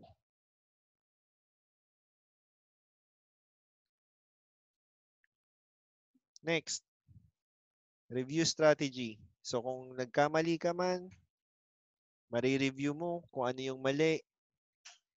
Kung tama ka, magiging good trading habits yun. So yun yung uh, ilalagay natin sa trading journal natin. Yung mga winning trades and losing trades natin. Malay mo, nagkamali ka dahil manipis lang yung SL mo or nagkamali ka dahil sobrang layo ng TP mo. May mga ganong bagay. So, nire-review natin yan. I suggest review it on a weekly basis. Or kung kaya nyong daily basis or uh, after two days, much better.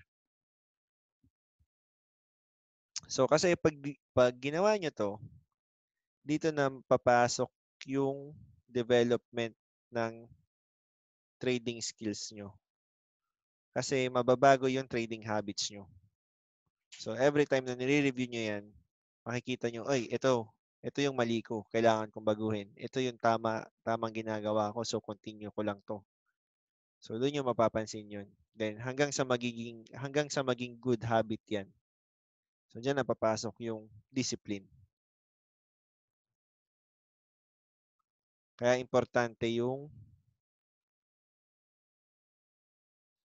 uh, magkaroon ng trading journal.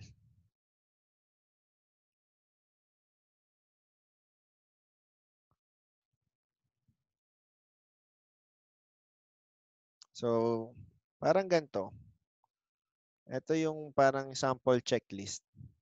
So, meron tayong um, tatlong W. So, meron tayong what, what pair, what price, what is the bias, when, kung kailan ka nag-trade, where, kung saan, kung saang presyo, kung saang pair. Then, from there, mer magkakaroon ka ng specific checklist. Itong specific, halimbawa, nasa support na ba siya? Nagkaroon na ba siya ng bullish candle? Ano ba yung trend niya sa daily or H4? So, parang mga ganong checklist. So, from there, magkakaroon ka na ng idea kung ibabay mo na ba siya o hindi pa. Kung lahat ng checklist mo is nakuha or tugma, ibabay mo siya. Kung hindi, so yun yung tinatawag nating uh, if statements. If, else, so yun.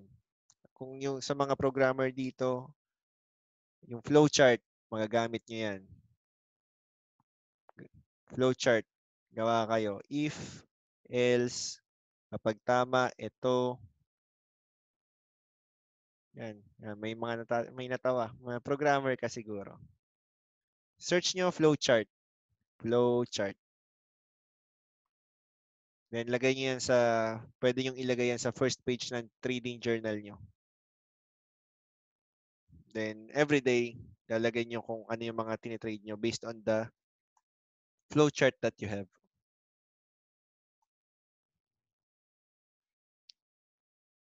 Ito, elements. Ano yung elements ng isang magandang trading plan? Una, money management.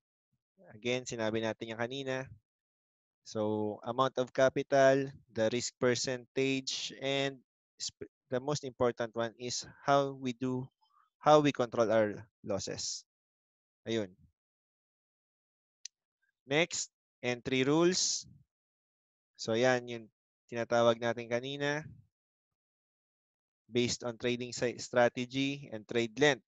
So, yung nagtatanong, meron tayong X and Y axis yung nasa uh, Y is frequency and yung nasa X is yung aggressiveness.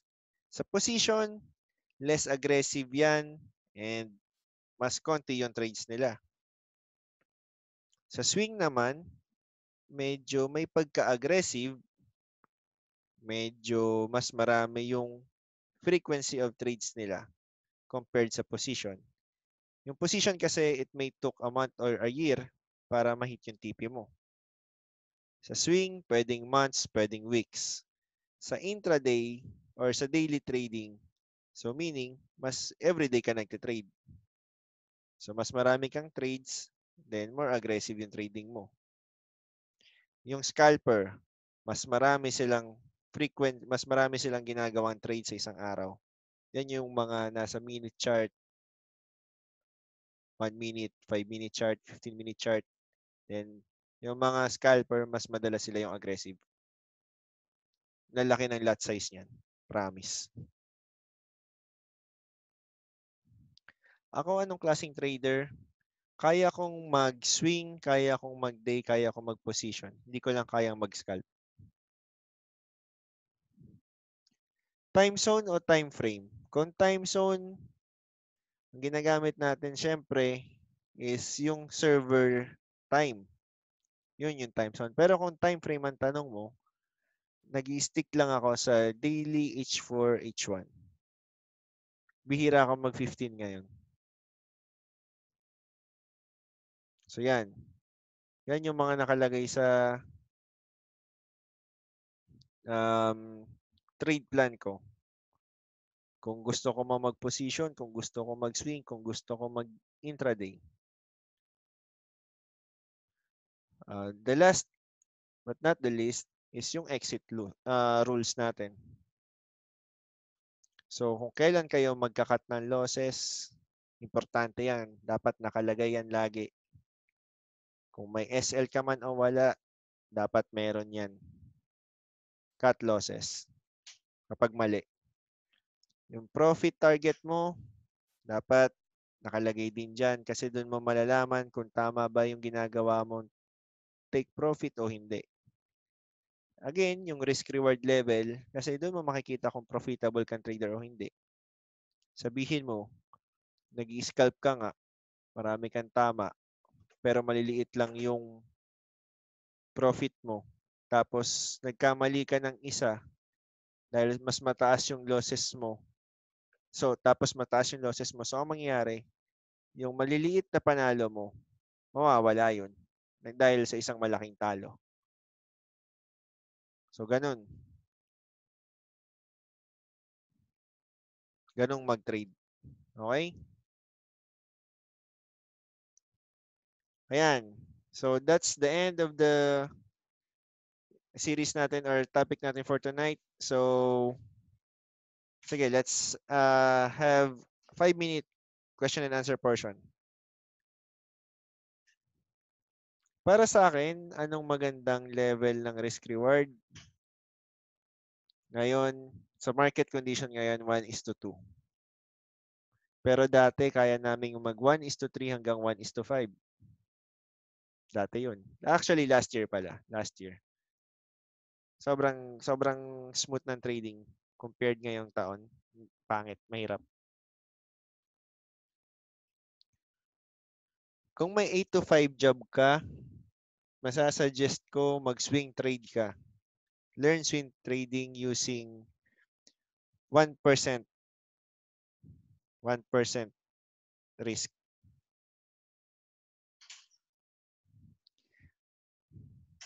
Ako nung may trabaho ko, ganun ginagawa ko.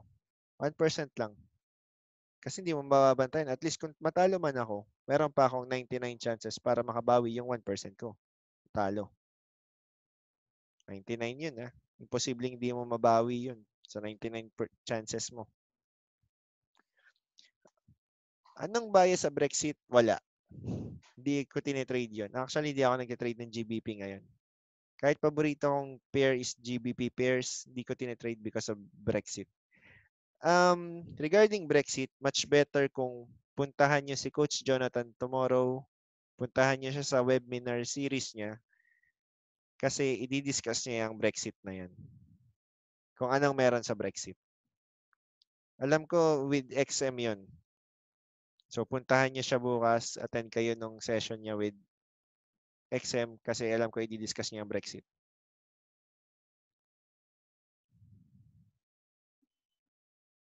Any more questions? So next, ano ba yung next session natin? Next session natin is more on the trading plan, kung paano gumawa ng trading plan with fundamental bias. Actually, more on news trading to. Yun yung next natin for next week.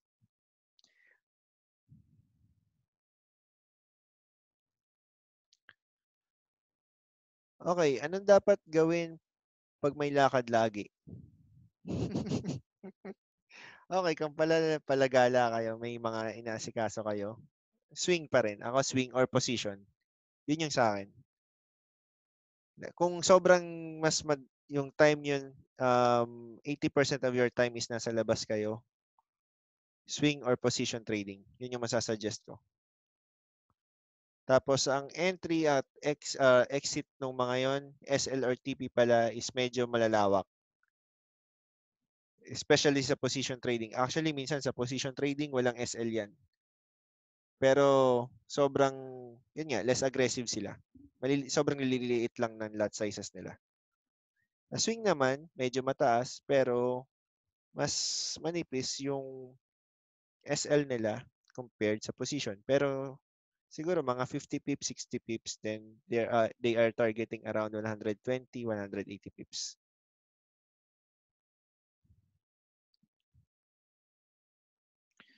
Yung swing trade, hindi ko naman masyadong chinecheck lagi swing trade. Siguro, uh, once in a, siguro sa isang araw, tanghali gabi ko lang siya iti-check. Yun lang. Ganun, ganun, ganun lang ako mag-check ng swing trade ko. Anong magandang pair sa newbies? Makikita ko ngayon USD JPY.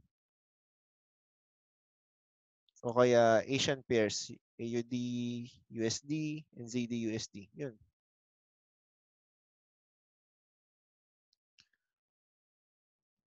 Actually, naka-record to. I-share to ni Coach Stan or i-share ko to um, i-upload muna namin, then pwede nyo i-review.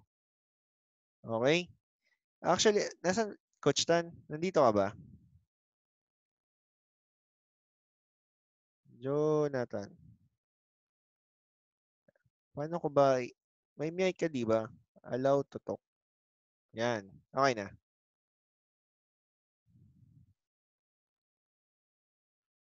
Try mo nga magsalita, Paps.